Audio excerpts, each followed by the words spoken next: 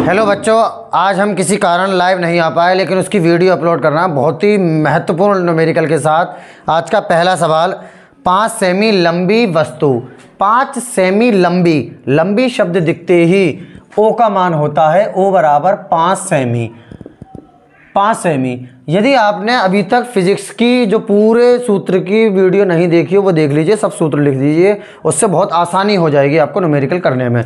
तो पाँच सेमी लंबी लंबी शब्द दिखते ही हो का मान बराबर पाँच सेमी वस्तु दस सेमी फोकस दूरी के। फोकस दूरी शब्द दिखते ही एफ़ का मान होता है। एफ़ बराबर कितना है? दस सेमी दस सेमी फोकस दूरी के उत्तर लेंस के उत्तर लेंस से इसलिए एफ़ कमान प्लस का होगा।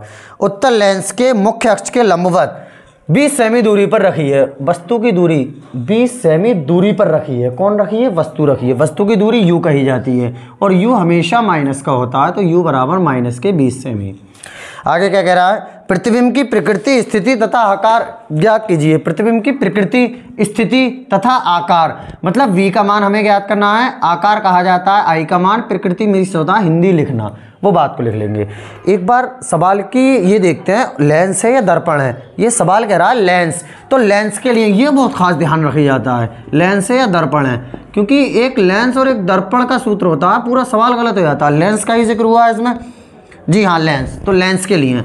अब लेंस के लिए सूत्र होता है, वो होता है one upon v minus one upon u बराबर वन अपॉन एफ़ जगह पर मान रख दिया जाएगा, बस. एक ऐसी? कैसी ये निशान ऐसी, अब आ गया वी वी हमें ज्ञात करना है ऐसे लिख लिया जाएगा. माइनस वन अपॉन यू की जगह पर कितना? माइनस बीस. बराबर वन अपॉन एफ़ की जगह पर कितना? दस.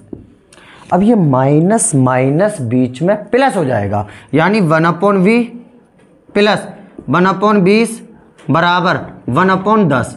अब एक बटा बीस उधर जाकर हो जाएगा माइनस का, यानी one upon v equals to one upon ten, इधर को आकर माइनस के वन अपॉन बीस।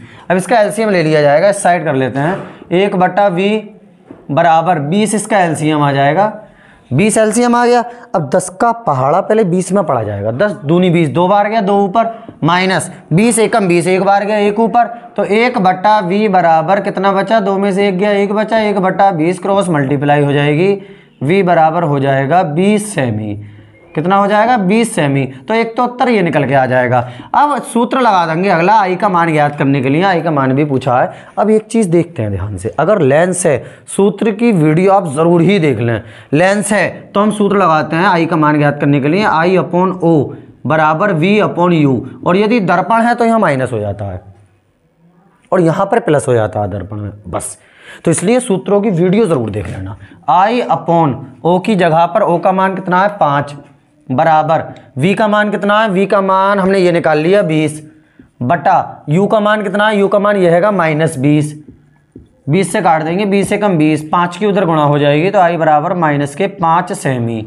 अब प्रकृति प्रकृति कैसे लिखता है? सबसे पहले अगर माइनस आया तो माइनस का मतलब होता है उल्टा, और उल्टा हमेशा वास्तविक होता है। तो वास्तविक, उल्टा व वा वस्तु से ये पाँच है।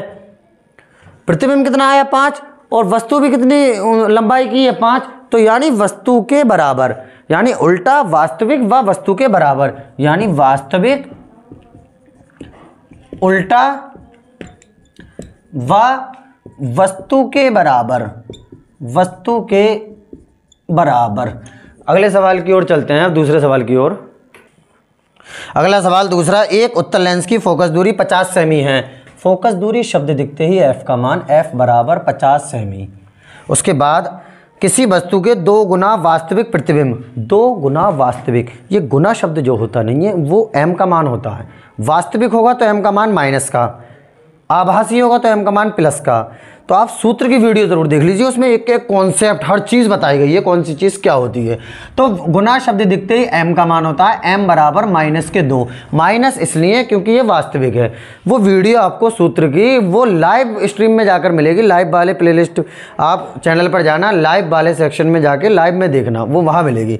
तो एम बराबर माइनस दो। आगे क्या कह रहा है?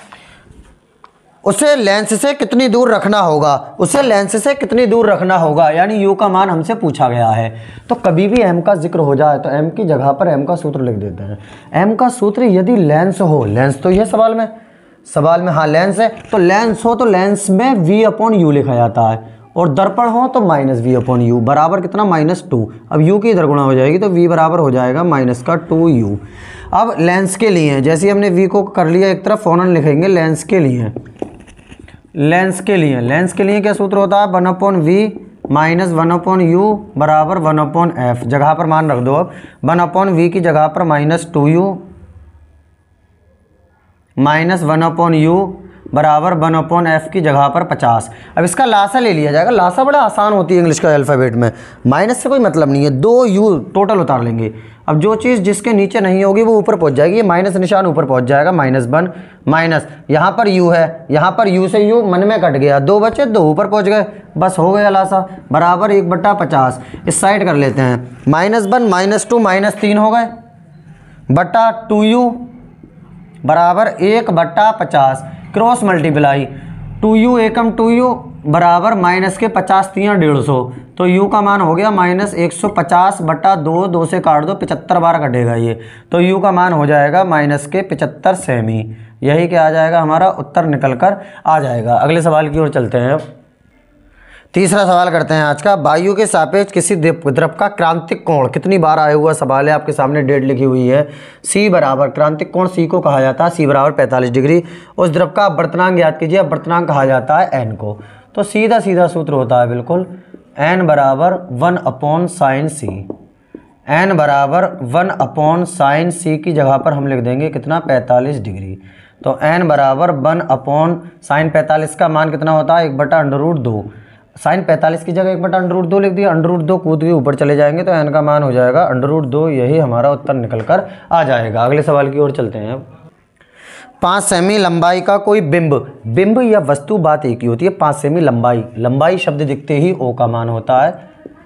ओ बराबर पाँच सेमी का कोई बिंब। तीस सेमी वक्रता त्रिज्या के। तीस सेमी वक्रता त्रिज्या। वक्रता त्रिज्या शब्द दिखते ही आर का मान होता है। आर बराबर तीस सेमी वक्रता त्रिज्या के किसी उत्तल दर्पण उत्तल दर्पण इसलिए ये प्लस का रहेगा। अगर अवतल दर्पण होता तो माइनस का होता। उत्तल दर्पण के सामने 20 सेमी दूरी पर रखा गया है। 20 सेमी दूरी पर, दूरी शब्द दिखते यू का मान यू बराबर 20 सेमी। 20 सेमी दूरी पर रखा गया है। प्रतिबिंब की स्थिति, यानी वी का मान, प्रकृति मीन्स हिंदी लिखना, और उसके बाद क्या करा है? साइज़ साइज़ का मतलब होता है आई का मान। अच्छा आई से भी कहा जाता है एच वन एच टू से भी कहा जाता है, वो कोई दिक्कत वाली बात नहीं है। सबसे पहले हम आर का मान दे रखा है तो पहले एफ़ का मान ज्ञात करते हैं। आर का मान दिया ही इसलिए होता ताकि आप एफ़ का मान ज्ञात कर लें। एफ़ बराबर आर बटा दो। एफ़ बराबर आर की जगह पर तीस बटा दो दो से काट देंगे, पंद्रह दूनी तीस। तो एफ़ का मान कितना हो जाएगा? पंद्रह सेमी। अब सवाल में दर्पण है। ये कह रहा देखो, सवाल आप पढ़िए। उत्तल दर्पण दर्पण तो दर्पण के लिए। अगर दर्पण है तो दर्पण के लिए। लेंस है तो लेंस के लिए। सवाल सेम होगा बिल्कुल। तो दर्पण के लिए ये बात ध्यान रखना है। यहाँ पर प्लस आता है। One upon v plus one upon u बराबर वन अपॉन एफ़ इस साइड कर लेते हैं। अब जगह पर मान रख दिया जाएगा सिर्फ़। एक बटा वी प्लस एक बटा यू की जगह पर माइनस बीस बराबर एक बट्टा एफ़ कितना है? पंद्रह। अब ये प्लस माइनस बीच में माइनस हो जाएगा। एक बट्टा वी माइनस एक बट्टा बीस बराबर एक बट्टा पंद्रह। इधर को जाकर ये काय का हो जाएगा? प्लस का एक बट्टा वी बराबर एक बट्टा पंद्रह प्लस एक बट्टा बीस। इसका एलसीएम ले लिया जाएगा। अभी एक बट्टा वी बराबर कितना आ जाएगा? साठ एलसीएम आ जाएगा इसका। पंद्रह चौका साठ, चार बार गया। चार एकम चार।